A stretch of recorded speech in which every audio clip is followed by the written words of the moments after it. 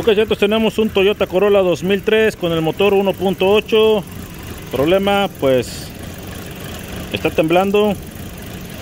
No sé si sea de miedo o tenga frío, pero está temblando. Así que tiene la luz encendida de la check engine. Vamos a proceder a diagnosticarlo y vamos a ver qué códigos extraemos de la computadora porque está sumamente tembloroso. Eh, me cuentan, a raíz de esa falla le han cambiado el empaque del intake, le han cambiado las cuatro bobinas y el carro lo dejaron por ahí abandonado, no supieron qué era, no le quisieron seguir metiendo más dinero, bueno. El chiste es que el carro ahora está aquí y lo voy a diagnosticar yo. Vamos a ver cómo me va, si lo hacemos o no lo hacemos mejorar o si no son fallas muy canijas como compresión o cosas por el estilo. Así que vamos a ver esto. Vamos a meterle el escáner y enseguida vemos los resultados de los códigos. Ok chatos, vamos a sacar códigos de este vehículo. Vamos a ver aquí. Current codes. Pues tenemos misfires en todos los cilindros, chato. Y luego tenemos Auto Sensor Heater, Circuit Foul, Banco 1, Sensor 1. Ok. Vamos a ver por qué tenemos ya en los cuatro cilindros. Vamos a ver si me diera eh, la detección de los misfires este Toyota 2003 hay que cruzar los dedos que si no los dé, porque si no, imagínense. Vamos a ver.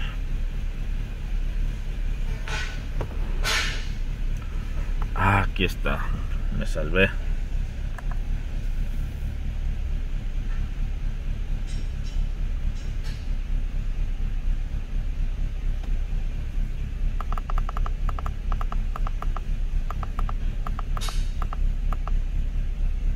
Todos están fallando.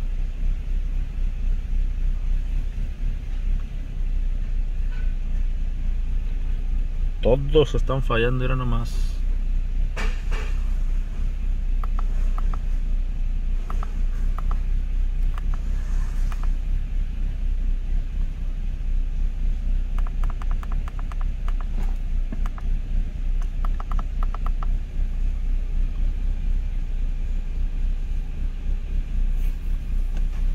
Miren.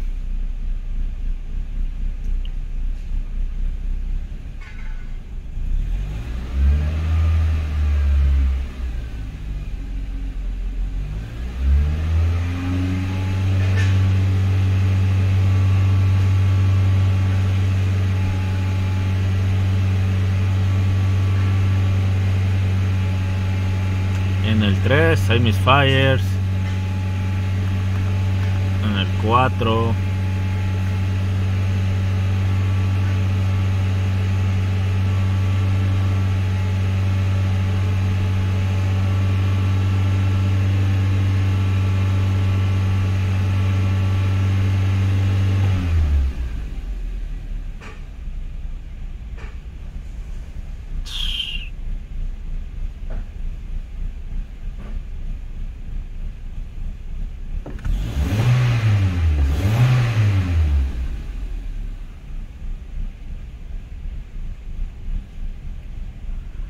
Hmm. Vamos a hacer un test, bueno, no un test, pero vamos a quitar el primer sensor de oxígeno, guys. Hay probabilidad de que el catalizador esté tapado y esté provocando los misfires, ok. Eh, vamos a chequear, vamos a hacer una compresión relativa igual Vamos a revisar la compresión también con un gauge, el estado de las bujías. ¿Qué más? Pues nada más eso por el momento. Retiro el sensor de oxígeno. Ok. retiro el, sensor de oxígeno y hacemos eh, una inspección por si estuviese tapado el catalizador ya que este vehículo tiene cerca de 200 mil millas bueno. Vamos a hacer eso guys. Ok chatos, tenemos el flujo de datos aquí, vamos a ver qué pasó, se mejoró, empeoró, siguió igual, igual chatos, siguen los misfires, siguen los misfires, ahí están. Siguiente paso, vamos a chequear la situación de las bujías y hacemos una compresión. Dele. Ok señores, ustedes pueden ver ahí se remueve el sensor de oxígeno para liberar si es que estuviese el catalizador tapado, liberan presión y se mejora el rendimiento del motor. No fue el caso, así que sigamos con las bujías. Ok chatos, observamos que las bobinas son originales, denso, se ven nuevas, al menos eso aparentan. También se ven nuevas las bujías. O sea que ya le anduvieron cambiando bastantes cosas, chatos. Ok, ya le estuvieron cambiando bastantes cosas.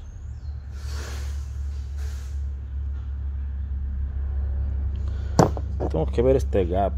Si es el origen, digo, si es el que debe de llevar. No vaya siendo que el gap sea diferente. Que por eso esté la falla.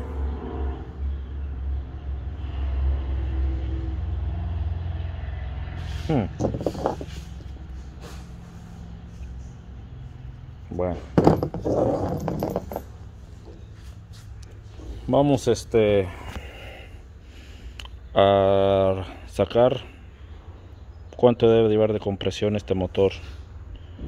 No voy a hacer por el momento una compresión relativa, quiero sacar números exactos de la compresión de este motor. Una vez que saque esos números, los comparo con las especificaciones del fabricante y determinamos si el motor todavía sigue saludable o no, ya que está dudoso. Tiene todo nuevo ya, bobinas, bujías, empaques del intake. Y bueno, vamos a conseguir un gauge para la compresión. Ok chatos, aquí tenemos las especificaciones de la compresión. Este motor tiene que tener 190 de compresión. Así que vamos nosotros a buscar ese número muy cercano a 190. Si no tiene entre 150 a 190, pues estamos condenando este motor chato. Ok chatos, para la compresión, en este caso desconecto bobinas, saco bujías, desconecto inyectores y mantengo presionado el acelerador a su máximo. 5 estarazos o 5 eventos de compresión y paramos. Vamos a ver si la batería me aguanta chatos. Vamos a ver si me aguanta la batería. Damos marcha 5 eventos. 1 2 3 4 5 ahí estuvo. Ahí estuvo. Vamos a ver cuánto tiene de compresión Ah, algo está mal con este reloj. No guardó la compresión. Vamos a chequear lo que pasó aquí, guys. Ok, chatos. Cambiamos ahí una manguera. No tenía... Ahora sí que... El pivotito. Ah, tiene unos 160 de compresión más o menos. Entre 160 170. Está bien el primer pistón. Vamos al siguiente. Vamos al siguiente. Ok chatos, estamos en un dilema. Tenemos buena compresión pareja 170. Pero el vehículo no está parejo. O sea, está con random misfire en todos los cilindros. Tiene buena compresión. Este es el último pistón. Ok.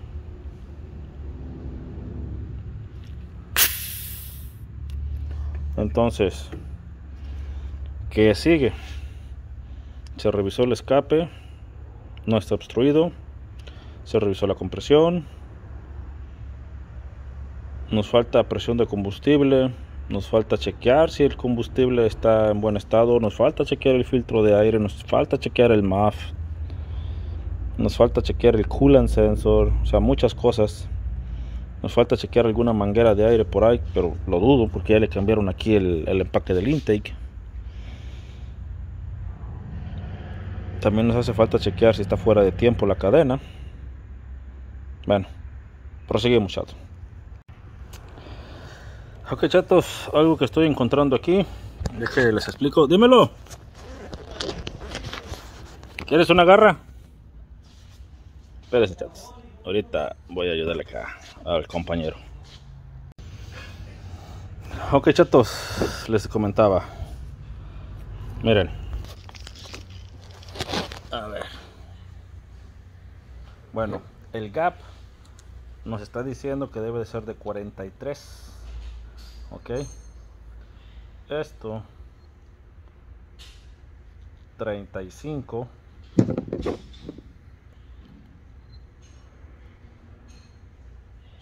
Treinta y ocho.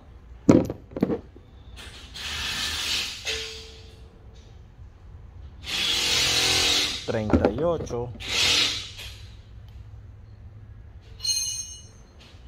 Y treinta y ocho. Esta salió muy cerrada. 30 duras penas. Ya, ok. Entonces, eh, quiero ver qué tipo de bujías usa. De acuerdo aquí al programa, debe de tener unas denso SK16R11. Estas son unas NGK no me gustan estas bujías no sé por qué no me gustan estas bujías no quiere decir que cambiando las bujías a lo mejor se soluciona el problema pero hay mucha probabilidad que sí lo haga. Ya que el gap se los muestro aquí miren. Ok. Lleva unas bujías en GK IFR 5A11 o las denso. A mí me gustan más las denso ¿por qué las denso? por esto. Ok. Ya que Toyota utiliza denso. Ok. Toyota está utilizando denso ok aquí está denso entonces por el momento voy a encargarle las bujías guys vuelvo a repetir a lo mejor no hace absolutamente ningún cambio a lo mejor se soluciona todo ¿qué creen ustedes? ¿qué va a pasar? ¿qué creen? vamos a pedir las denso las ponemos y a ver qué ok chatos no hay bujías ahorita disponibles. So ya les abrió un poquito más el gap a estas a ver si no las eché a perder más. Pero ya las dejé a 43 como dice aquí la especificación. Así que las voy a volver a meter y vamos a ver qué qué es lo que hacen. Como les digo no estoy honestamente no estoy seguro si con las bujías nuevo van a a quedar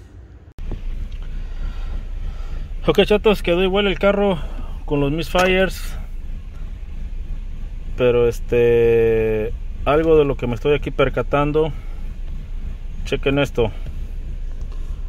Eh, bueno primero les muestro que aunque haya calibrado yo las bujías quedó igual. El carro quedó igual ok con mis fires ahí está miren ahí están los mis fires ok pero algo que acabo de ver, no sé si fue en mi imaginación o algo. Chequen, les muestro.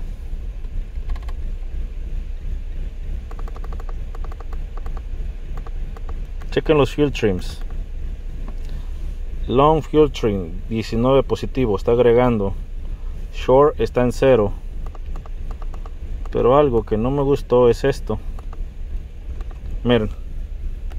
Ambos sensores de oxígeno están en 0 voltios 0 voltios significa link condition a lo que la computadora tiene que meter combustible. Ok. Entonces, tanto el banco 1 como el banco 2 se encuentran en 0 voltios. O no sirve la computadora o los sensores de oxígeno no van a servir. So, voy a checar directamente los sensores de oxígeno, guys. Esto es en normal con el fabricante Toyota. Voy a hacerlo de una manera genérica. Ok. OBD2 genérico. Que a ver qué está pasando. O es el escáner. O qué está pasando. ¿Por qué me está marcando 0? 0 voltios. No entiendo yo eso. ¿Por qué me marca 0 voltios? Los dos sensores de oxígeno. Y se ven que son nuevos. Igual se los cambiaron.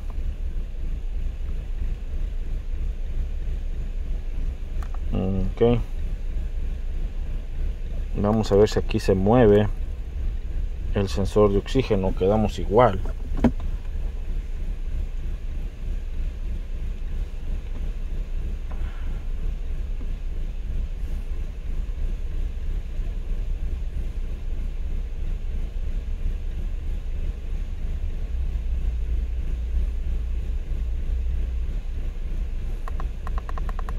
quiero ver los sensores de oxígeno. Ahí tenemos otra vez 19% miren están en cero. Ahí está miren.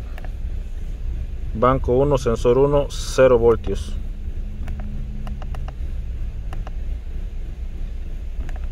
Banco 1 sensor 2 0 voltios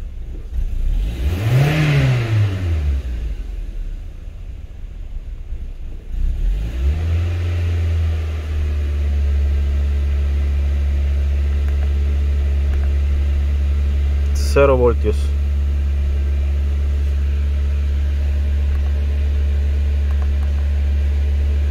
Mira.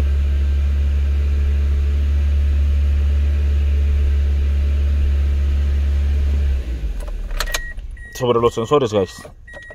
Sobre los sensores. Tenemos los dos sensores en ceros el osciloscopio en cero. A no ser que esté equivocado acá de cable pero no me da respuesta. Pásame un brake cleaner si tienes. Vamos a hacer una prueba guys para ver si reacciona aquí más que nada el sensor de oxígeno ya que pudiera estar entrando demasiado aire. Pues qué vamos a hacer eh, muévete para acá. Quita tantito el filtro del aire y el housing chato ¿A dónde? Ahí, levanta de donde va el filtro del aire. Ahí, y ahí tantito, tantito aviéntale brake cleaner ahí, que lo succione. Quiero ver si acá hay, hay movimiento acá. Ok, miren. Cómo se empareja. Esto sí quiere decir que en algún lado, en algún lado, ver otra, otra vez, échale.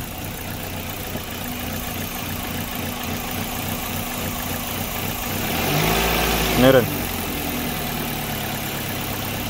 Ok. Entonces hay algo que está quedándose abierto y que está, está entrando demasiado aire. Problemas de la PCB a lo mejor. O algún otro problema pero hay demasiado aire y eso nos puede estar echando eh, ahora sí que este tipo de problemas que los sensores aterricen prácticamente en cero. Ya vimos que ambos sensores reaccionaron tanto en el osciloscopio como en el escáner significa que no tengo problemas con computadora, con cableado, con sensor, con nada. Entonces, voy a meter la máquina de humo para ver si no hay algún este algún chupete de humo por ahí. También vamos a ver si la válvula de la PCB nos está quedando abierta, chatos. Ok, chatos, ¿qué creen? Si tenemos buena presión aquí. Muy, muy buena presión de combustible. La especificación dice de 44 a 55, está en 50. Así que este vehículo en algún lado tiene que tener una mezcla lean ya que cuando se le vierte el brake cleaner esto se mejora guys esto mejora bastante Uy, cómo se escucha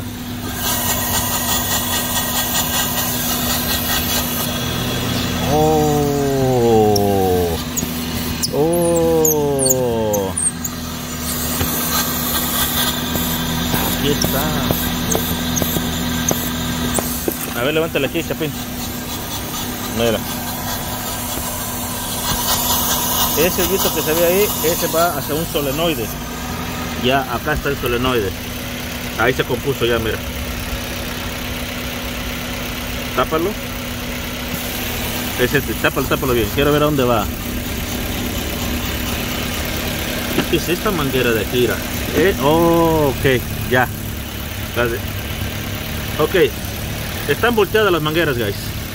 Bueno, estas están volteadas. Esta manguera tiene que ir acá arriba. Ya. Ese fue el único error aquí. Mm, esta manguera va arriba. Apaga el coche. Ya ok. Ahorita les muestro bien cómo estamos aquí la, la situación. Guys cuando tengan así problemitas de mangueras o sospechen aquí hay un diagrama aquí arribita hay un diagrama de las mangueras de vacío ok entonces fíjense bien dice air cleaner hacia dónde va esta manguera hacia un solenoide ¿sí ven? esta manguera que dice air cleaner va hacia un solenoide y hacia dónde va esta que dice air cleaner esta hacia dónde va al intake. al intake. por eso está chupando demasiado aire y ese aire ¿qué creen? no es medido por Por el el señor Maf. Así que sigamos. Ok señores. Aquí estamos viendo los sensores de oxígeno que están en cero. Ok. Están en cero. Vamos a hacer ahorita con el motor andando el intercambio de mangueras. A la chepena si se pudiera ahí. O necesitamos apagar el motor nada no creo. ok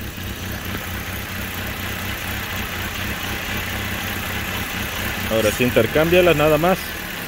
Chequen acá cómo va a reaccionar ya el sensor de oxígeno miren. Miren nada más. Qué belleza. Qué bonito es lo bonito.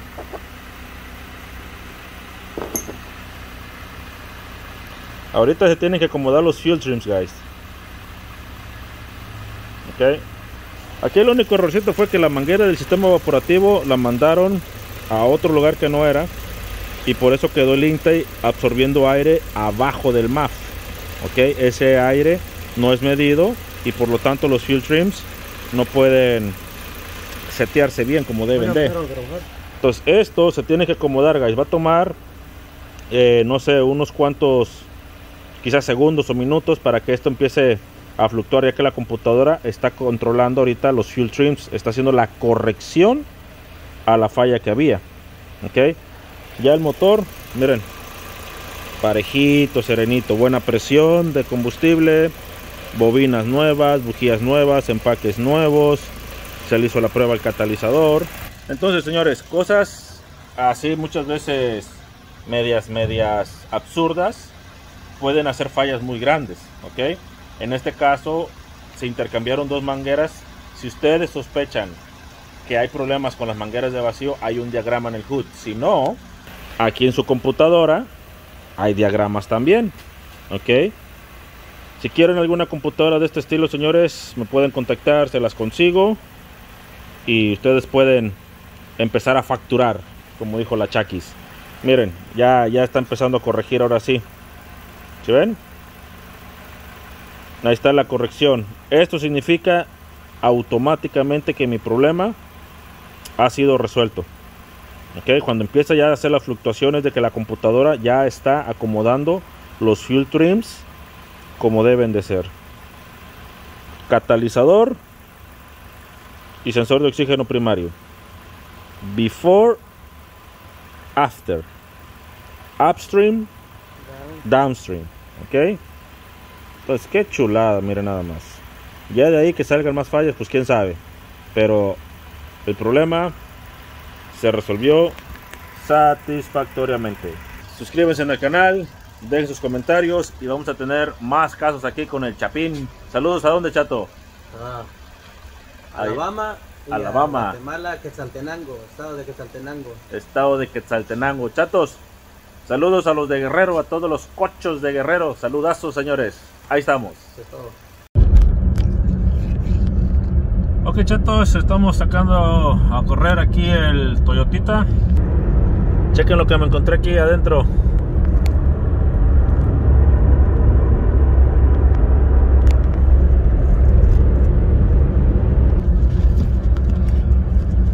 Entonces, como les digo, a mis seguidores, alumnos, amigos, no hay regla de oro que te indique tienes que empezar por este punto y si no empiezas por ahí estás mal. No señores ustedes pueden empezar de la manera que ustedes quieran. La forma más fácil la forma más complicada como ustedes quieran. He conocido muchos mecánicos. Para qué quieres el escáner. Para qué quieres el programa para qué quieres el osciloscopio ¿Para qué quieres y para qué quieres y para qué quieres? Casualmente, para no estar cambiando demasiadas partes. Yo no digo que soy perfecto, chatos. Pero trato de no equivocarme tanto, pues. ¿Verdad?